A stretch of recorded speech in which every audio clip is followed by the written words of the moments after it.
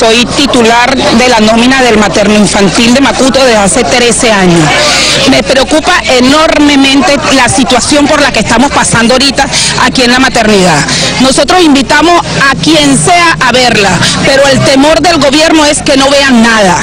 Entonces yo no entiendo cómo se pueden mejorar unas cosas si no deja que la sociedad entre a ver cuál es el error. Nosotros tenemos un, ministro de salud que de verdad no se ha preocupado por nada. Tenemos un director regional de salud aquí en Vargas, que esto no, ha, esto no ha avanzado para nada. Entonces, ¿qué es lo que estamos esperando, señores? ¿A quién le echamos la culpa? Porque el gobierno se ha hartado en decir la cuarta, la cuarta, la cuarta, perdimos la maternidad en la quinta, ¿a quién le echamos la culpa? Si la perdimos en la quinta, ¿por qué no la tenemos? ¿Ah?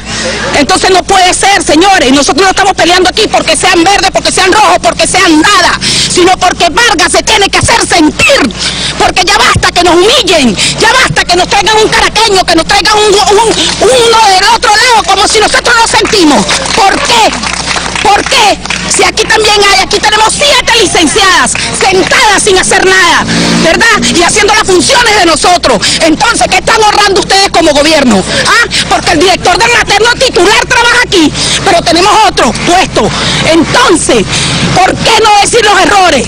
¿Por qué tener que vestirse de rojo para decir todo bien? Todo no está bien, señores.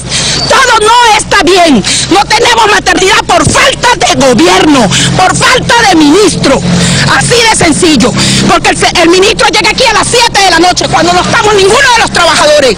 ¿ah? A decir que, que nos están dotando, si es verdad, vamos a aplaudirlo. Nos están dotando, pero ¿dónde van a poner los aparatos, señores? en donde, en donde ustedes quieran, porque no nos ponen la maternidad como era. Los dos módulos están destruidos. ¿Dónde van a meter las camas? ¿Ah? ¿Por qué engañar? ¿Por qué engañar? Vamos allá a ver que hay un poco de camas. Idea es que funcionemos. La idea es que reclamemos. La idea es que sepan que en Vargas hay gente con guáramo y sin miedo.